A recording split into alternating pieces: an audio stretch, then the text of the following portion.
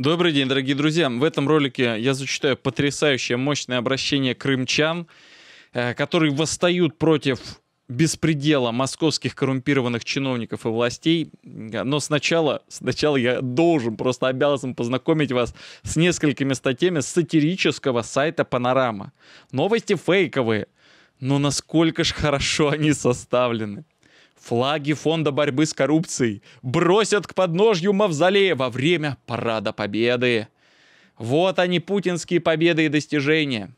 После признания Фонда борьбы с коррупцией экстремистской организацией Министерство обороны приняло решение внести изменения в традиционную программу бросания знамен нацистских войсковых соединений к подножью Мавзолея. В этом году вместе с ними на землю будут брошены флаги запрещенных экстремистских организаций, таких как Информационное агентство «Медуза», Фонды борьбы с коррупцией и штабы Навального – также впервые в истории во время парада по площади проведут заключенных сотрудников ФБК, включая лидера экстремистов Алексея Навального.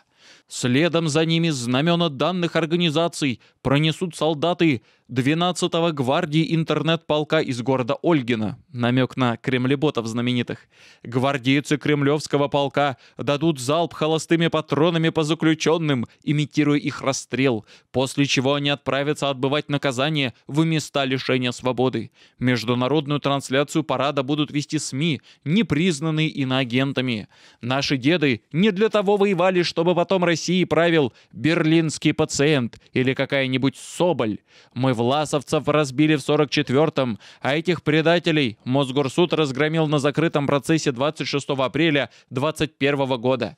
После парада по всей стране пройдут показательные расстрелы штабов ФБК из танков, чтобы и впредь неповадно было заниматься чем-то подобным, считает генерал Артем Кузьмин. Или вот еще. Марат Хуцнулин, нынешний министр строительства, предложил включить Москву в состав Российской Федерации. Наконец-то, давно пора. В нынешней ситуации управлять Москвой регионами России просто невозможно. Чтобы реализовать общие проекты, нужно подписать кучу разных документов, согласовать просто кучу разных вопросов. Если бы Москва находилась в составе России, проводить единую политику было бы гораздо проще. Да и сами москвичи обрадуются, что будут жить в такой большой стране. В Сандуновских банях избран новый состав Центрального комитета ЛДПР. Помните вот знаменитые кадры Жириновский в банях? Сейчас партия празднует его 75-летие. Сергей Миронов объявил о переименовании «Справедливой России» в «Справедливую оппозицию». Глава парламентской партии Миронов сообщил, что на выборы в Госдуму осенью этого года политическая сила пойдет под обновленным названием «Справедливая оппозиция». Так, по его мнению, партии удастся привлечь избирателя, избежав ассоциации с партией власти «Единая Россия» и оппозиционерами, работающими на разрушение российского государства. Мы провели исследование. Его результаты говорят, что из-за того, что избиратель путает нас с «Единой Россией», мы теряем 5-10% на каждых выборах. Почему-то люди считают, что мы их сателлиты и партия, работающая в одной упряжке с властью. И хоть действительно кто-то раньше был в Думе от единороссов, а потом перешел в справедливую Россию, это говорит только о смене политических взглядов человека. Еще раз подчеркну, мы оппозиционная партия, однако мы всегда готовы поддержать мудрые инициативы президента. Дорогие друзья, вы, пожалуйста, в комментариях укажите, стоит ли мне разбавлять ролики такими сатирическими заметками от панорамы и других информационных источников, которые периодически придумывают какой-то остренькую формулировку по происходящему в нашей действительности. У меня с таким чувством юмора как-то не очень. После относительно недолгого затишья на федеральной повестке вновь вечно мятежный Севастополь. Генеральный директор судоремонтного завода «Южный Севастополь» Патимат Алиева, близкая к серому кардиналу Севастополя Алексею Чалому, буквально восприняв совет Путина – подавать информацию в непричесанном виде, решила начать с первых лиц государства, с Николая Патрушева. В своем открытом письме, размещенном в Телеграме, Алиева смело и аргументированно подвергла критике доклад секретаря Совбеза Патрушева по ситуации в Крыму. Алиева считает, что заявление Патрушева, называющего основной угрозой национальной экономической безопасности Крыма подрывную деятельность США и подконтрольных им государств, в том числе Украины, разбиваются о российские реалии – Главной угрозой для полуострова являются не западные страны, не отчаянные студенты Джумаевы, а коррумпированные чиновники, депутаты-кнопочники и продажные российские судьи, реализующие незаконные схемы в интересах украинских или даже российских властей. С удовольствием зачитаю вам оригинал этого обращения. Секретарю Совета Безопасности РФ Николаю Платоновичу Патрушеву, директору ФСБ Бортникову от генерального директора судоремонтного завода «Южный Севастополь» Алиевой. Уважаемый Николай Платонович, 14 апреля 2021 года во время вашего визита в Крым и Севастополь вы провели совещание, на котором обсудили вопросы, связанные с обеспечением национальной, экономической и социальной безопасностью полуострова – в своем выступлении вы подчеркнули, что на территории Крымского полуострова сохраняются предпосылки возникновения угроз национальной и экономической безопасности, обусловленные возможным осложнением межнациональной, межконфессиональной обстановки и вероятностью совершения терактов. Среди основных причин этих угроз – деструктивная деятельность США, контролируемых ими блока НАТО, ряда государств Евросоюза, Украины, направленная на дискредитацию внутренней и внешней политики Российской Федерации, нанесение ущерба ее авторитету и международному имиджу, распространение экстремистской и националистической идеологии, вероятность войны, которую руками Украины могут развязать США. Ситуация с безопасностью под контролем, но расслабляться нельзя ввиду серьезности угроз. Да, вы правы, угроза существует, но не только внешняя. Большую и главную угрозу для полуострова и государства представляют продажные судьи, коррумпированные чиновники и силовой блок, игнорирующий беспредел исполнительной судебной власти – Следуя совету президента РФ и проявляя заботу о будущем моей страны, считаю своим гражданским долгом открыто донести до вас в непричесанном и в незализанном виде информацию о сознательном подрыве национальной и экономической безопасности Севастополя не отчаянными студенты Джумаевыми, не шпионами-диверсантами из народа, а продажными лицами во власти. Это очень жестко. Николаю Платоновичу Патрушеву просто надавали по щекам, фигурально выражаясь. Это как это так? С секретарь Совета Безопасности Российской Федерации, одно из самых высокопоставленных лиц в нашем государстве, не в курсе, что у нас есть внутренние проблемы, не учитывает их. Именно то, что разрушает, например, экология, которую разрушают наши олигархи, под пристальным одобрением российских чиновников, это все бьет по здоровью наших граждан – это бьет по нашей демографической ситуации. Это подрывает наше будущее, особенно в долгосрочной перспективе. Это то, чем в первую очередь должен заниматься Совет Безопасности. Но они пока что до этого, понимаете, руки не дошли. Американцев ругать гораздо проще. Пока российские силовики охотятся за студентами и журналистами, подрывная деятельность украинских властей на территории города Севастополя нашла свою поддержку в арбитражных судах города Севастополя и Калуги, которые при полном попустительстве местных силовиков и правоохранительных органов выносят решения, наносящие вред интересам государства, противоречащие военной стратегии Совета Безопасности РФ, уступают российские активы стратегического значения, которые вообще-то должны быть на особом счету, зерновой терминал ООО «Холдинг Южный», например, сомнительным юридическим лицам и гражданам с Украины, напрямую связанным и аффилированным Сергеем Ткаченко, объявленным на территории РФ в розыск за совершение тяжких и особо тяжких преступлений против национальной и экономической безопасности РФ по громкому уголовному делу номер такой-то, возбужденному там-то, по факту хищения свыше 50 миллионов долларов. Указом президента РФ от 20 марта 2009 года АО ОЗК внесено в перечень стратегических предприятий и стратегических акционерных обществ РФ.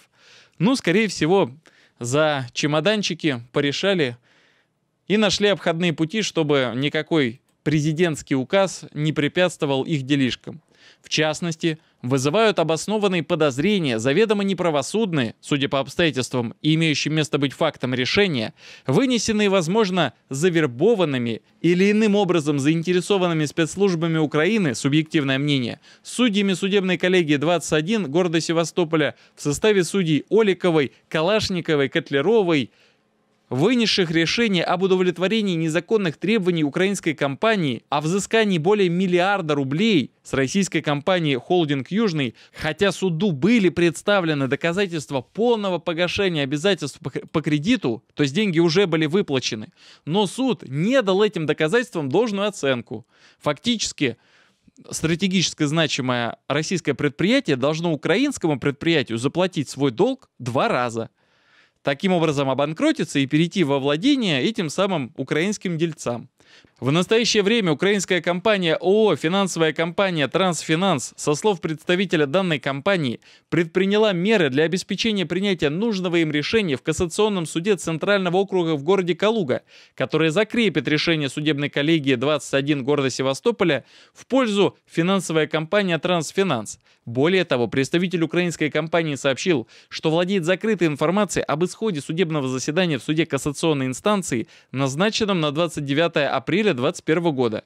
Николай Платонович, как вы можете быть уверены, что ситуация с национальной, экономической и социальной безопасностью под контролем, если сомнительные юридические лица Украины и объявленные в розыск на территории РФ граждане Украины владеют, по сути, закрытой информацией о том, какое решение будет принято на предстоящем судебном заседании в Кассационном суде Центрального округа в Калуге – Учитывая, что Севастополь – военно-морская база Черноморского флота, который является гарантом безопасности в регионе, нормы и меры безопасности здесь, соответственно, должны быть особые а каждый шаг, слово, действие чиновника и каждое судебное решение должны выноситься прежде всего в интересах России с учетом национальной и экономической безопасности.